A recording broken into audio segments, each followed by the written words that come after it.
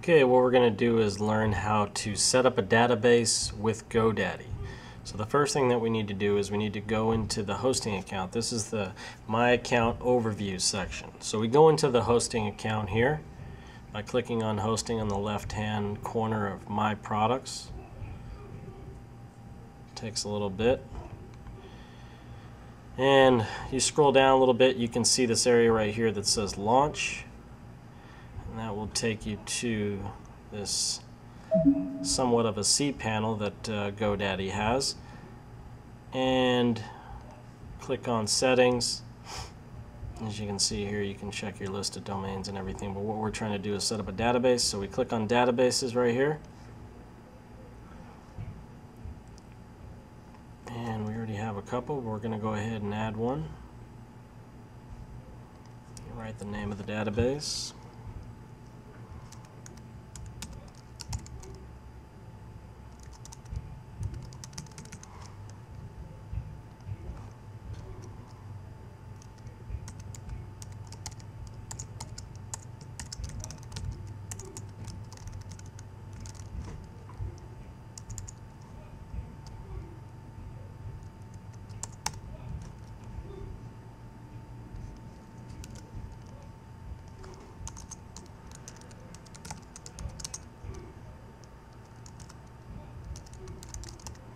Now what I'm doing is actually storing my information here, sorry.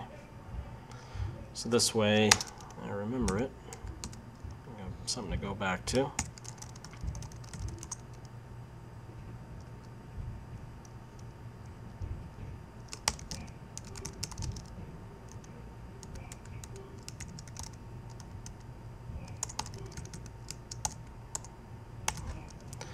Okay, and for the password, you want to have something very secure, obviously. I'll put some characters in there and everything.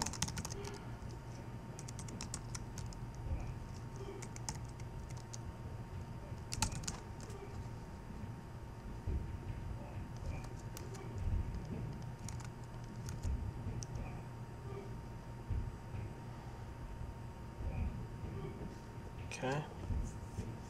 And what we do is we just click OK. I'm going to do 5.0.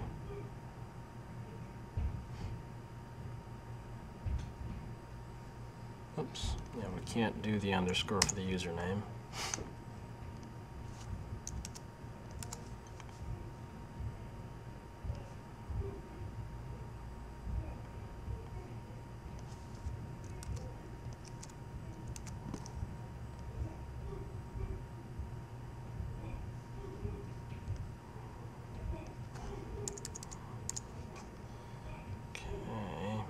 also have some restrictions as far as passwords go with GoDaddy, so we have to limit them between 7 and 14 characters. Let's see if we got it this time. There we go. Okay, so now what we need to do is we need to wait for the setup, and then we can actually click on this link here.